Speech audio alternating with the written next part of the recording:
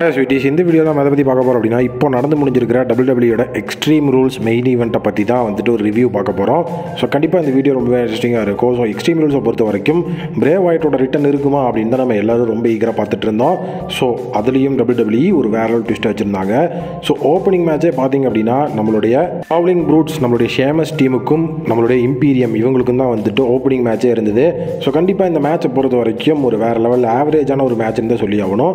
First வந்துட்டு நல்லா நல்லாவே தான் போயிட்டு இருந்தது. எல்லாருமே அங்கே இருக்கிற எக்யூப்மெண்ட்ஸ் எடுத்து அடிக்கிறதுலேருந்து சூப்பராகவே மேட்ச் கொண்டு போயிட்டு இருந்தாங்க. ஸோ ஃபுல் அண்ட் ஃபுல் இந்த மேட்ச்சில் வந்துட்டு ஷேமஸோட டாமினேஷன் வெறித்தனமாக தெரிஞ்சுது. ஸோ அவர் வந்துட்டு புத்தர்கிட்ட வந்துட்டு சாம்பியன்ஷிப்பை வந்து ஏமாற்றி அந்த டிஸ்குவாலிஃபிகேஷனில் வந்துட்டு அவர் லாஸ் பண்ணியிருப்பார். ஸோ வந்துட்டு ஜெயிக்க வேண்டிய மேட்ச் அது. பட் குத்தர் வந்து இவரை ஏமாற்றி வின் பண்ணியிருப்பார்.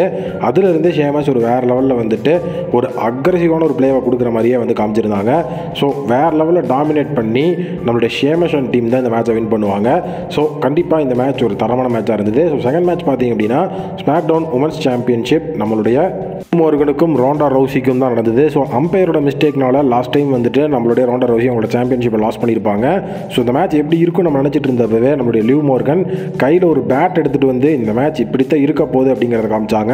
ரெண்டு பேருமே ப்ரூட்டலான ஒரு அட்டாக்கு விட்டு கொடுத்துக்காம வந்துட்டு ரெண்டு பேரும் வேறு லெவலில் அக்ரஸிவான வந்துட்டு ஒரு பெர்ஃபார்மன்ஸை காமிச்சாங்க. ஸோ அது மட்டும் இல்லாமல் ராண்டா ரவுசி தான் இந்த மேட்சை வின் பண்ணுவாங்க அப்படின்னு நம்ம எல்லாருக்குமே தெரிஞ்சது தான் ஆனால் லிவ் மார்கன் அதை அப்படியே மாத்திர மாதிரியான பெர்ஃபார்மன்ஸை நல்லா நிறைய கொடுத்தாங்க. ஸோ லிவ் மார்கனே ஒரு தடவை வந்து கண்டிப்பாக வந்து ஸ்மாக் டவுன் உமன் சாம்பியன்ஷிப்பை ரீட்டைன் பண்ணி எடுத்துகிட்டு போயிடுவாங்களோ அப்படின்னு நினச்சப்போ நம்மளுடைய ராண்டா ரவுசி அதெல்லாம் இங்கே நடக்கிறதுக்கு வாய்ப்பே கிடையாது. நான் தான் ஜெயிப்பேன் அப்படின்னு சொல்லி அவங்க மேட்ச் வின் பண்ணிடுவாங்க. வின் பண்ணதுக்கப்புறம் நம்மளுடைய லிவ் மோர்கன் ஒரு ஹீல் டர்ன் கொடுக்குற மாதிரியான ஒரு விதமான ஒரு செக்மெண்ட்டை வந்து அந்த இடத்துல டபிள்யூ ஆட் பண்ணியிருப்பாங்க. இது வந்து ஸ்ட்ராப் மேட்ச் நம்மளுடைய கெரியன் கிராஸுக்கும் ட்ரூ மேக்கண்டேருக்கும் நடக்கும். கெரியன் கிராஸ் வந்து டபிள்யூ வந்ததுக்கப்புறம் ஒரு விளையாடுற முதல் மெயின் ஈவெண்ட் வந்துட்டு இதுதான். அதாவது வந்துட்டு ஒரு பெயிண்ட் ஆஃப் வியூவில் வந்துட்டு இப்போ தான் ஒரு ஃபஸ்ட் டைம் வந்துட்டு ஃபைட் பண்ணுறாரு ஸோ கண்டிப்பாக இந்த மேட்ச் எப்படிப்பா போகும் அது வந்து ஒரு ஸ்ட்ராப் மேட்ச் அப்படிங்கிறதுனால வேறு லெவலில் இருக்கும் அப்படின்னு நம்ம நினச்சோம். ஸோ கண்டிப்பாக அந்த மேட்ச் வந்து நம்ம எக்ஸ்பெக்டேஷனை ஃபுல்ஃபில் பண்ணிச்சுன்னு தான் சொல்லணும். ரெண்டு பேருமே தரமான பர்ஃபார்மன்ஸு ட்ரூ மேக்கன்டயர் ஆகட்டும் நம்மளுடைய கரியன் கிராஸ் ஆகட்டும் ரெண்டு பேருமே ஈக்கான ஒரு பர்ஃபார்மன்ஸை கொடுத்துக்கிட்டாங்க. அதுவும் வந்து கரியன் கிராஸ் இப்போ தான் வந்திருக்கிறாரு அப்படிங்கிறதுனால நம்மளுடைய ட்ரூ மேக்கன்டயர் நிறைய ஸ்பேஸ் அவர் கொடுத்தாரு. ஸ்ட்ராப் மேட்ச்சு வச்சு வேறு லெவலில் வாங்கினாங்க அப்படின்னு தான் சொல்லி ஆகணும். ஸோ மேட்ச் எப்படிப்பா முடியும் அப்படின்னு நம்ம நினச்சிட்டு இருந்தப்போ ஒரு அன்எக்ஸ்பெக்டட் எண்டிங்கை வந்து கொடுத்துருந்தாங்க. ஸோ பெப்பர் ஸ்ப்ரேவை வந்துட்டு நம்மளுடைய ட்ரூ மேக்கண்டையரோட கண்ணில் அடிச்சு ஸோ அதன் மூலியமாக வந்து கெரியன் கிராஸ் வந்துட்டு வின் பண்ணுற மாதிரி அதாவது வந்து க்ளீனான ஒரு டிஃபிட் வந்துட்டு இந்த இடத்துல கொடுக்கல.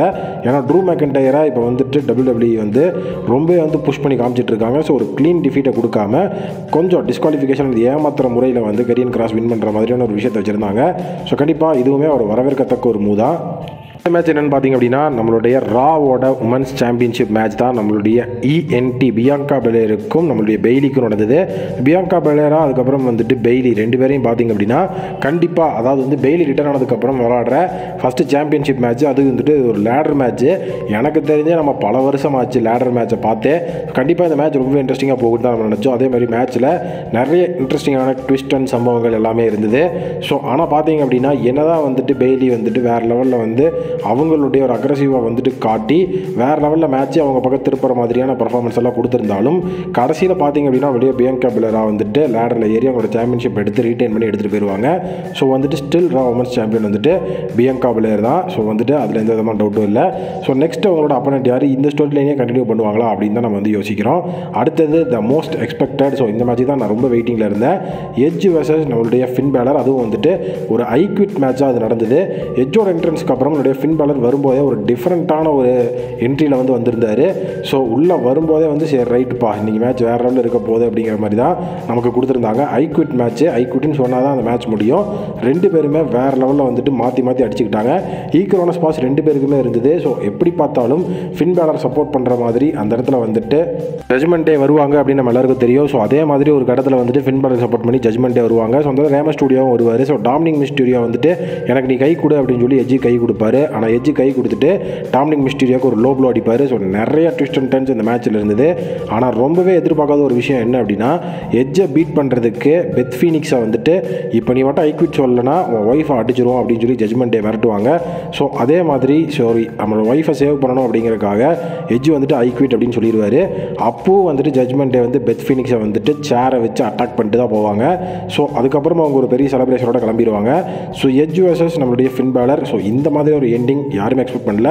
ஸ்டோரி லைன் வைஸ் இது வந்து ரிசல்ட்டு கண்டிப்பாக ரொம்பவே நல்லா இருந்தது. ஆனால் இன்னும் எஜ்ஜுக்கு ஒரு கிளியரான ரிசல்ட் ஒரு கிளியர் வின் வந்து ஒரு ரிட்டர்ன் ஆனதுக்கப்புறம் பெருசாக கிடைக்கவே இல்லை அப்படிங்கிறது ஒரு வருத்தமாக தான் இருக்குது அடுத்ததாக ஃபைட் பிட் மேட்ச்சு செத்ரோலன்ஸுக்கும் நம்மளுடைய மேட் ரிடலுக்கும் நடக்கும். ஸோ இந்த மேட்சை பொறுத்த வரைக்கும் கண்டிப்பாக வந்துட்டு இது எந்த மாதிரியான போகும்? ரேண்டி அட்டனோட ரிட்டர்ன் இருக்குமா அப்படின்லாம் நம்ம எல்லாம் எக்ஸ்பெக்ட் பண்ணிட்டு இருந்தோம். ஸோ இந்த மேட்சோட ஸ்ட்ரக்சரே வேறு மாதிரி இருந்தது. ரிங்கோட ரோப்ஸ் எல்லாம் ரிமூவ் பண்ணி இன்னும் கொஞ்சம் எக்ஸ்ட்ரா ஸ்ட்ரக்சரெல்லாம் ஆட் பண்ணி வச்சிருந்தாங்க. ஸோ இந்த மேட்ச்சில் ஹெலினசெல்லையே வந்துட்டு ஹெலினசெல் டூ பாயிண்ட் டூ மாதிரி இருந்தது.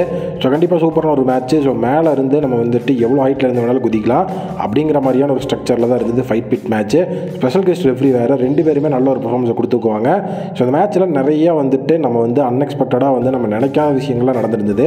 என்னென்னு பார்த்தீங்கன்னா இந்த மேட்ச்சில் வந்துட்டு ரிடில் சப்மிஷன் போட்டு நம்மளுடைய செத்ரோன்ஸை கிவ் அப் பண்ண வச்சு வின் பண்ணார்.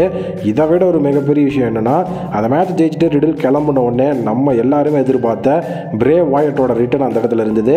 ஸோ ஒரு ஃபீண்டாக வருவாரா அப்படின்னு நம்ம நினச்சோம். ஆனால் வந்துட்டு ஒரு நார்மல் பிரேவ் வாயட்டாக அவர் எப்படி ஒரு மாஸ்க் போட்டு லைட் எடுத்துகிட்டு வருவாரோ அதே மாதிரி ஒரு டிஃப்ரெண்ட் டைப் ஆஃப் மாஸ்க்கை வந்து போட்டு அதே மாதிரி நம்மளுடைய பிரேவ் வாய்ட் வந்து இப்போ அஃபிஷியலாக டபிள்யூடபிள்யூக்கு ரிட்டர்ன் ஆகிட்டாரு ஸோ கண்டிப்பாக எல்லாருமே வந்துட்டு நம்ம சொல்லிட்டு தான் இருந்தோம். கண்டிப்பாக பிரேவ் வாய்ட் வந்து இந்த இடத்துல ரிட்டர்ன் ஆயிடுவார் ரிட்டர்ன் ஆயிடுவாருன்னு அதே மாதிரி இப்போ ரிட்டர்ன் ஆகிட்டாரு ஸோ இப்போ இவரோட ஸ்டோரி லைன் என்னவாக இருக்கும் அப்படிங்கிறது தான் எல்லாரோட டவுட்டாகவும் போயிட்டுருக்கு. ஏன்னா இப்போ பிரான் ஸ்ட்ரோமனும் வந்துட்டு இப்போ ரிட்டர்ன் ஆகிருக்கிறாரு ஸோ வந்து ரெண்டு சாம்பியன்ஷிப் அண்ட் அன்டிஸ்பியூட்டட் சாம்பியனாக இப்போ பார்த்தீங்க அப்படின்னா நம்முடைய ரோமன் ரைன்ஸ் தான் இருக்கிறாரு. ஸோ அவர்கிட்ட யாருக்கு ஸ்டோரி லைன் போகும் அப்படிங்கிறத டவுட்டு அது அந்த எக்ஸ்ட்ரீம் ரூல்ஸில் நடந்த மேட்சஸ் வந்து ரேங்கிங் பண்ணலாம். மொத்தமாக இந்த எக்ஸ்ட்ரீம் ரூல்ஸில் பார்த்தீங்கன்னா ஆறு மேட்ச் நடந்தது. ஸோ ரேங்கை பொறுத்த வரைக்கும் நம்மளுடைய ட்ரூ மெக்கடே வர்சஸ் கெரியன் கிராஸ் வந்து சிக்ஸ்த் பொசிஷனை பிடிச்சிருக்கு. ராண்டா ரவுசியோட மேட்ச் வந்து fifth position Finn Balor Edge வந்துட்டு ஃபோர்த் பொசிஷன் செத்ராலன்ஸ் அதுக்கப்புறம் நம்மளுடைய Matt Riddle fight pit match வந்துட்டு தேர்ட் பொசிஷனில் இருக்குது ஸோ அதுக்கப்புறம் நம்மளுடைய ஷேமஷன் டீம் அந்த மேட்ச் செகண்ட் பொசிஷன்லையும் ஃபர்ஸ்ட் பொசிஷனில் ladder match women's championship match இருக்குது ஸோ உங்களுக்கு இந்த எக்ஸ்ட்ரீம் ரூல்ஸ் டுவெண்ட்டி டுவெண்ட்டி டூவில் எந்த மேட்ச் ரொம்பவே பிடிச்சிருந்தது அப்படிங்கிறத கமெண்ட் செக்ஷன் கால் பண்ணுங்கள் நெக்ஸ்ட் வந்துட்டு அடுத்த ஒரு மெயின் ஈவெண்ட்டோட ரிவ்யூவில் உங்களை நான் வந்துட்டு மீட் பண்ணுறேன் thank you take care and bye bye